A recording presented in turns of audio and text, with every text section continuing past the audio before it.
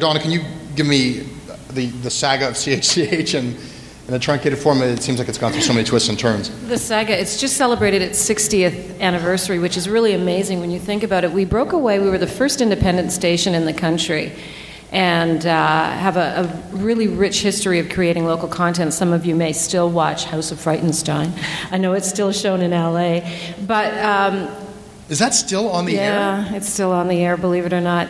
Um, it, CHCH was, was founded back in 1954 um, by um, uh, a man who was in radio at the time. I think he, he was involved with uh, CHML at the time. Started CHCH television, broke away from the CBC, became the first uh, independent.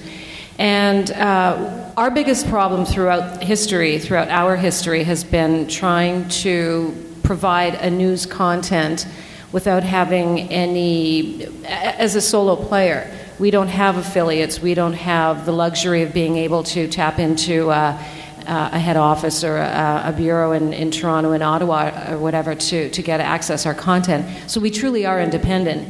Uh, we've been bought and sold in just the. I've been here since '88, and I think we've. I've had seven owners in the. You know, since 1988. So it's been a really, really difficult a journey for the station because, as, as Sonia mentioned, we are in the shadow of Toronto, we are always rated within Toronto. So we are up against CTV, CFTO, for example, when we're rating a 6 o'clock newscast we're not rated on how many people watch us in Hamilton, but how many people watch us in Toronto.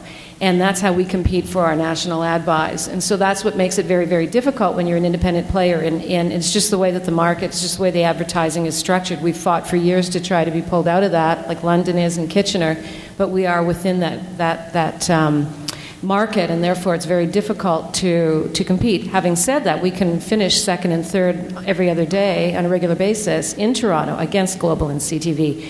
So we have clearly, we still have a lot of eyeballs in this area. Recently, we went to local uh, news all day long, and a lot of people think that the industry is dying. I do believe it's going to change. It's always been undergoing some sort of a change, but Netflix clearly has had a huge impact on how people view television today. But local will allow stations to survive live will keep stations alive. If you're in sports and you're covering local sports, people aren't going to, you know, go back and say, I'll, I'll, watch it at three in the morning or I'll watch it next week. They're going to watch it live either in a bar or at home. So I think the channels that are local, providing local sports will survive, and, and channels that are providing local news will probably survive uh, or news will survive. But local is also a component that, that um, I think that the bean counters have totally turned their back on. And, it's, and I think we're an example of a station that has proven you can, uh, you can actually turn a profit if you cater to a specific smaller market. We do not have any real true competition when it comes to local content. We're very lucky and, and very fortunate but I do believe that people want local content. They can get national and international anywhere online on, you know, on, on television, but it's very difficult to access true local content. I mean, you said something very quickly there uh, that you, you do local live like all day. All day. We tune in at four in the morning and we're live until seven, and then we go back live again at eleven, all day. How many people work at CHCH? Uh, total with our, our Toronto head office, it's about 200. Uh-huh. But when we were we were well, I can tell you exactly what happened. Um, in 09, Global owned us at the time, and they called us into a meeting in February and said, You have two weeks to find an owner, or we're shutting the station down. I was thinking, Were you kidding me?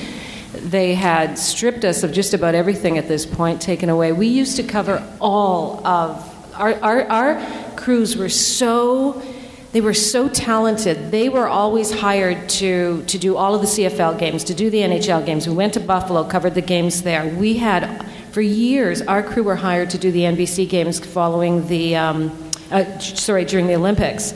In fact, two of our former staff members head up the host um, uh, broadcast division for IOC because they were so talented uh, covering the Olympics.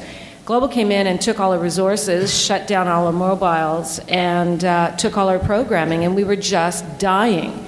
And they cut back and cut back and cut back on our programming, and then a couple of we tried to save as you know we tried to save the station i actually did approach the mayor it was mayor eisenberger at the time and said you got to get this you know take the license over let it be owned by the city I thought it would be brilliant. You know, you could show the, the any part of the city all day long and have this amazing um, opportunity to promote the city. Long story short, we were purchased by um, three or four gentlemen from Toronto for $11. That included all of the assets. We walked away from our pensions, uh, took the money out of it, but we had jobs. Nobody lost a job. They froze our salaries, and we all had jobs, and they hired about another 40 people. And we went lo- live all day long.